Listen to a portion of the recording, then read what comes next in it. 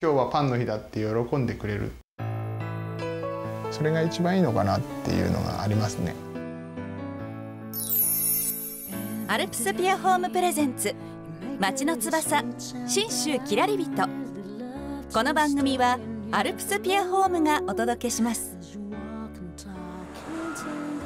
飯田市の後藤聡さん39歳。今年4月パン工房を構えました。主に学校給食用のパンを手掛けていますが独り立ちの決断にはある出来事がありました。学校給食を50年以上手掛ける老舗で働いていた後藤さんですが飯田市では今年からご飯給食への転換が進みパン給食が激減。その煽りを受け会社も給食パンの製造から撤退せざるを得ませんでした。やっぱ悩みました。撤退していくものに対して意地だけでやっていいものかどうかっていうのは炊飯事業に移ることもできましたが背中を押したのは長女からの一言でした。お父さんのパンが食べたいっていうのは言ってくれましたね。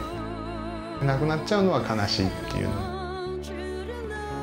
なんとかしてパン給食を残したい設備をそのまま借りて製造から配達を一手に引き継ぎました。配達に行って「今日ねじりパンだって」って言って話してくれるのがウキウキしますよね。やりがいはパンを待つ子どもたちの笑顔。もっと笑顔が生まれるパンを目指して後藤さんの奮闘は続きます。子どもたちと接してるとなくしちゃいけねえんじゃねえかなっていう思いだけですよね。いつでもそばにある。そういうパンにしたいですね。